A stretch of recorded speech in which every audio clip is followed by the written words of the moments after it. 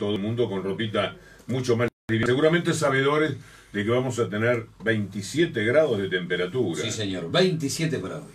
Mi admirado, vamos a ponernos en marcha, lo hemos hecho con Fabricantes de Mentiras por sui generis. Esa música que utilizamos como corolario de lo que Alfredo Sayat decía anoche con el gato silvestre, el minuto uno.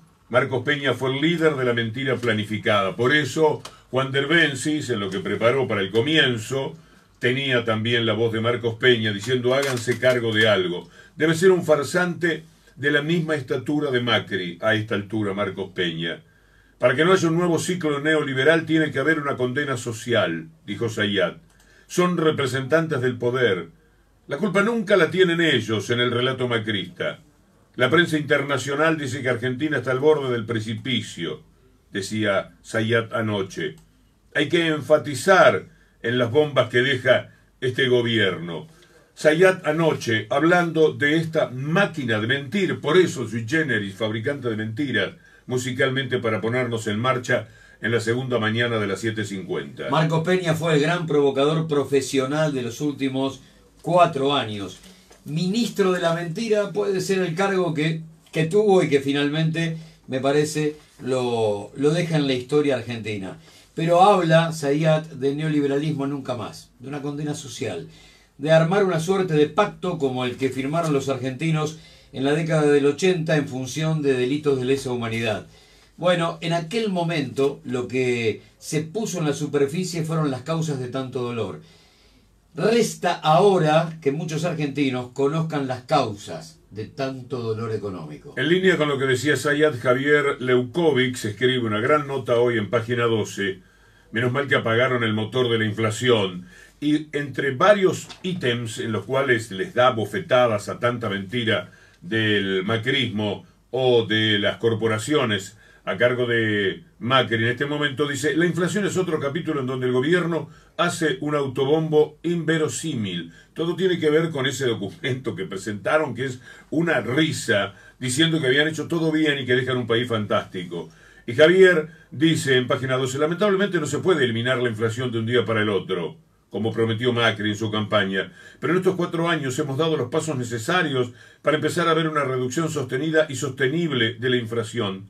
Nos ocupamos de apagar esos motores, empezamos a corregir. Bueno, decir esto, cuando están terminando con el 60% en este año es lo que les enrostra, entre otras cosas, en esta nota Javier Leukovic. Es inadmisible, increíble, propio de gente que ya no se miente a sí misma. Estos no son tontos, saben que la mentira prospera, saben que hay quienes están dispuestos a decir, como aquel título de un querido libro mío, mentime que me gusta. Es cierto que no se puede apagar la inflación de un día para otro, pero también es cierto que la inflación se puede generar de un día para otro. Y en este caso, si tomamos la primera semana de gobierno, el levantamiento del cepo con devaluación del 40% en 24 horas, generó una espiral de locura que desde el punto de vista económico está muy lejos de apagarse. Ellos han generado la dolarización de la economía cotidiana y de esa forma se buscó un, un formato de inflación que fue terrible. Pero por otra parte, también lo que ellos mismos generaron fue que la República Argentina Económica no existiera. Son mesadineristas, manejan mesas de dinero, cuevas. Economía es otra cosa, es darle de comer a 45 millones de habitantes, educación, salud, y eso no lo hicieron nunca. La mesa de dinero dejó en manos del mercado a la inflación, y así no fue. ¿Y ustedes nos hablan a nosotros de mentira y de verdad? ¿En serio que ustedes tienen cara ¿Ustedes tienen cara para hablar de mentiras en la República Argentina? Pero por favor, se cansaron de mentirle en todo a los trabajadores que no iban a pagar ganancias. Todo lo que dijo es así, lamentablemente. La verdad que da mucha tristeza comprobar que se ha mentido tanto.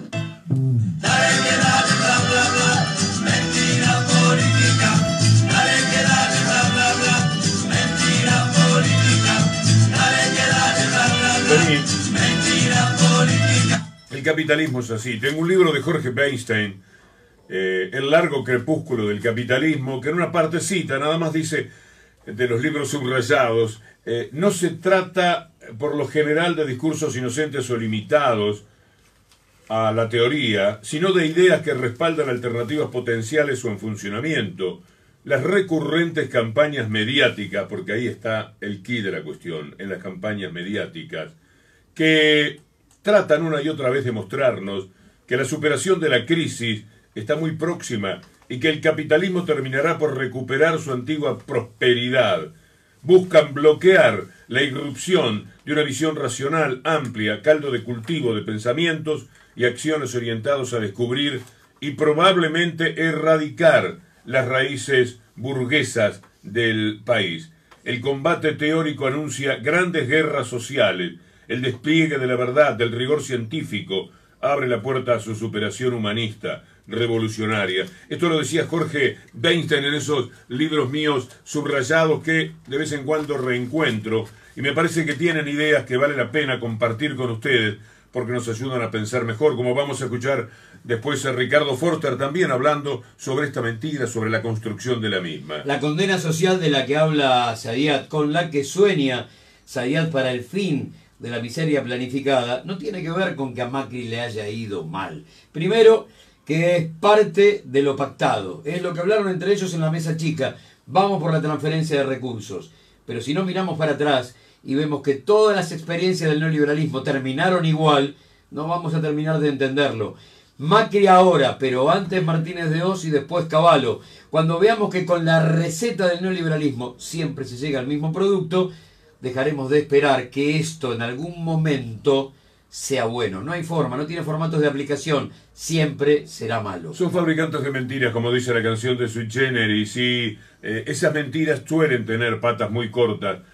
Vamos a hacer un repaso breve, un pantallazo de lo que hoy nomás está ocurriendo. En las pymes creció la actividad, pero en un año se perdieron 30.000 empleos industriales. Ese ataque al empleo de Macri ya es parte de la historia y eso fueron capaces de decir que habían creado, no sé, un millón de puestos de trabajo o más todavía. Porque los monotributistas que se tenían que convertir en eso porque perdían su trabajo, a ellos les pareció que estaban aumentando ese rubro. Arcor paralizó su producción en la provincia de Catamarca, dio vacaciones obligatorias a 430 trabajadores, paró su producción por 15 días en Tucumán, en Villa Mercedes, en Colonia Carolla y en Salto. Arcor, quinta planta que adelanta descanso, vacaciones a sus empleados. La causa, caída del consumo, muerte del mercado interno. Por ahí algunas empresas gastaron bastante también en cómo eligieron financiar a Macri para las elecciones del 27 de octubre. La reforma de la ley de financiamiento de los partidos políticos que impulsó el gobierno justamente para que ocurriera eso, porque los aportantes truchos esta vez no iban a caminar. Bueno, la mayoría decidió invertir en la campaña de Macri. Es impresionante, hay un detalle de página 12 de quiénes fueron los que pusieron ese dinero. Después les vamos a hablar de cuáles son las empresas que aportaron para ver si podía continuar este grupo. Quiero decir que lo ideológico todavía les es más fuerte a veces que la propia situación económica. En octubre cayó la producción automotriz 17.7 con relación a 2018. Las ventas al mercado interno cayeron 47% con relación a todos los meses de este año. Las exportaciones bajaron 15%. Bueno, en dos años el salario social complementario perdió un 20% frente a la inflación. Es el beneficio que cobran como 300.000 personas, un poquito menos. Eso también se cayó.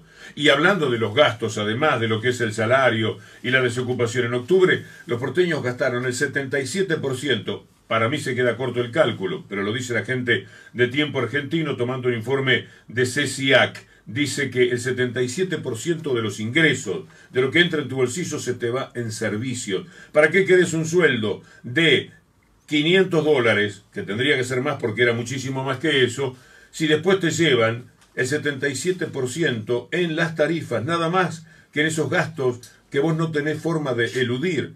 Si te pagaron 100 dólares y te dieran gratis la luz, el agua, etcétera, sería prácticamente lo mismo, porque te sacan muchísimo dinero con las tarifas. Ayer dijimos que mientras esperaban los industriales de línea blanca que el Cyber Monday le dé a ellos la posibilidad de un pequeño agosto, resulta que nadie anda comprando ni electrodomésticos y mucho menos lavarropas o cocinas o termotanques. Están utilizando la compra por internet. Ayer decíamos pañales. Hoy la cifra dice que se duplicaron las ventas de alimentos. Ahora, fíjate Víctor Hugo cómo Clarín lo maquilla. Las compras preventivas se imponen a las aspiracionales. ¿Qué es ese título? Están buscando comida y no la aspiración de tener un mejor lavarropa, un mejor electrodoméstico. Eso iban a buscar en cuotas. Ahora, ¿cómo comer? Si no hubiese cosas peores como la de la justicia que vamos a tratar en un rato, ya con estas cosas, con esta participación siempre mentirosa, siempre sesgada, de Clarín ya tendríamos motivos para mencionar como un verdadero drama nacional, una tragedia moral de la Argentina, al periodismo que llamamos dominante que tiene nombre, Clarín y eh, La Nación. De vez en cuando aprecio que ni siquiera políticos jóvenes que vienen bastante bien y que nosotros respetamos mucho, anoche vi a uno en televisión, dale con medios hegemónicos. Es Clarín, se llama Nación, la gente no compra medios hegemónicos, no se para al lado del kiosco y dice, me da un medio hegemónico, y el tipo mete mano en cualquier lado y le da un medio hegemónico. No tengan miedo, porque además de la misma persona, supe de este joven y promisorio hombre de la política que dijo que lo de los medios no es tan eh, importante.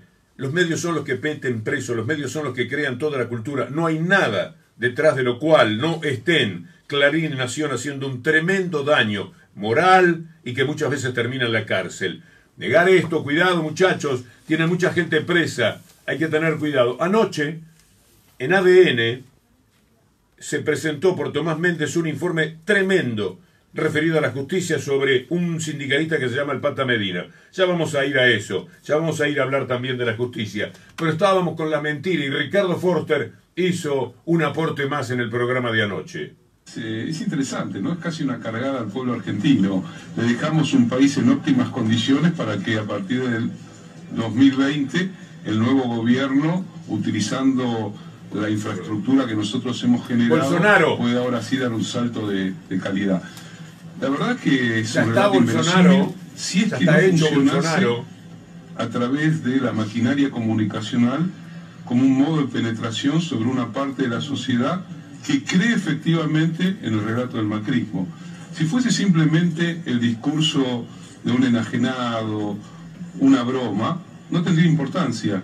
Pero como es parte de un dispositivo que está en el corazón del neoliberalismo, construir una ficción que en realidad no tiene nada que ver con lo que le sucede a la sociedad, pero una parte de la sociedad está convencida que aquello que le están contando es efectivamente la verdad. Pero debo porque no, no estoy en el tema. ¿eh?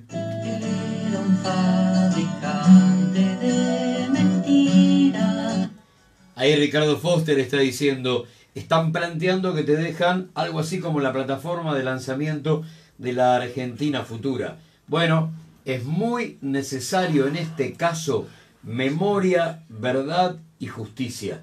Si los tipos dejan una deuda que hipotecó a tres o cuatro generaciones, desocupación de dos dígitos, muerte de la industria nacional, si los tipos dejan hambre, marginalidad, no hay forma memoria y verdad en función de que cada dato que tenga que ver con la Argentina socioeconómica 2015-2019 esté arriba de la superficie a disposición de 45 millones de habitantes. Y después, justicia, ¿eh? Mucha justicia. ¿Qué es lo que tenemos? No, no hay audios acá. Es un fabricante de mentiras, también se lo desmintió. El audio que puedes usar es el reggae de Lula Libre. Ah, ok. Y el audio de Alberto hablando de la justicia que habla de Lula y de Cristina. Y te metes ya con justicia. Bueno, primero Lula, después Alberto. Exacto. Lula cierra esto que, vamos a decir. Vení. Es el sistema, es el modelo, es la ideología lo que les hace ser fabricantes de mentiras. Bolsonaro anunció que tres multinacionales se van a mudar de la Argentina a Brasil. ¿Podés creer? Todo mentira. Lo desmintieron las propias multinacionales. Y es el presidente de Brasil, Jair Bolsonaro, quien anunció por la mañana que la automotriz Honda, la fabricante, fabricante francesa de cosméticos L'Oréal y la compañía de motores MWM le comunicaron que cerrarán sus fábricas en la Argentina para instalarse en el vecino país. Es decir, como viene este gobierno de Alberto y Cristina Fernández de Kirchner, las multinacionales ya se van y se van a Brasil, donde eligen convivir con esa bestia imbeciloide y tan desagradable, tan fascista que se llama Jair Bolsonaro. Es una locura diplomática en términos democráticos lo que está generando Bolsonaro, que está tratando a Alberto Fernández como si él fuera algo así como el titular del principal partido opositor de Bolsonaro en Brasil. Las relaciones diplomáticas, la verdad, tienen un paraguas tan grandes para proteger diferencias que hacen que la convivencia sea más o menos formal. Él ha roto la formalidad de la convivencia porque le ha pegado al futuro argentino, por supuesto, parándose arriba de millones y millones de votos como si eso no existieran, y está rompiendo relaciones diplomáticas sin hacerlo. Le falta un cachito nomás. Minutos después de la publicación del mensaje de Bolsonaro en Twitter, ahora lo borró hace unos minutos, lo sacó. Desde las empresas, desde las sedes locales de, de, las empresas, desmintieron la información. En el caso de MWM, la fabricante de motores, el cierre de su planta en Córdoba ya se había producido en septiembre pasado. Y las otras dos dijeron que no es verdad. Honda no cierra su planta en Argentina, sino que mantendrá sus operaciones tal como estaba previsto a partir del 2020 concentrando su producción en la línea de motocicletas y tampoco lo de L'Oreal. Por su parte, fuentes de la empresa de L'Oreal no confirmaron que tengan previsto cierres, ni siquiera cierres de plantas locales. Hoy Brasil es tapa de Clarín y Clarín lo utiliza para volver con la vieja bandera de las privatizaciones y encima con la más sensible de todas, que es el petróleo. El título más importante de Clarín dice Brasil subasta áreas de exploración petrolera por 28.500 millones de dólares. Aplaude, lo da como un dato recontra positivo, porque dice será un alivio fiscal para la economía del vecino país. Vende la riqueza del subsuelo, hipoteca el futuro de Brasil, Bolsonaro, entregando a manos de las multinacionales petroleras las áreas más ricas que tiene Brasil en el Atlántico. Bolsonaro que como Macri es la consecuencia de todo lo que opacaron la democracia medios como Globo en Brasil y los que ya sabemos en la República Argentina. Hicieron todo lo posible para que Lula esté preso y para que Bolsonaro sea este presidente infame para la historia de Brasil. El regae. ¿Lo captan el reggae ahí? Se dice reggae, ¿no?